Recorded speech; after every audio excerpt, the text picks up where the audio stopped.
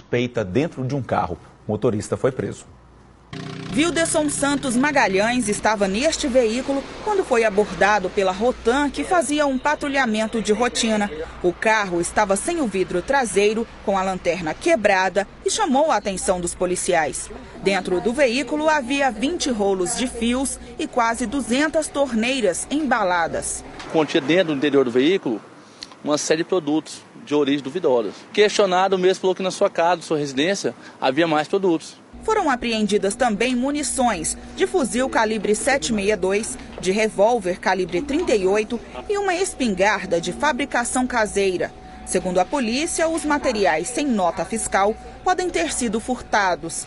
Vilderson, de 24 anos, tem passagem pela polícia por receptação. Está sendo autuado em flagrante delito será recolhido no presídio à disposição do MM Juiz de Direito da comarca de Goiânia. Agora a gente abre espaço para o futebol aqui no Jornal Anhanguera. O Goiás tenta a reabilitação hoje no Campeonato Brasileiro e o jogo é aqui, ó, no Serra Dourada. Bom, já o Vila Nova, esse tem uma missão para lá de complicada, sabe por quê?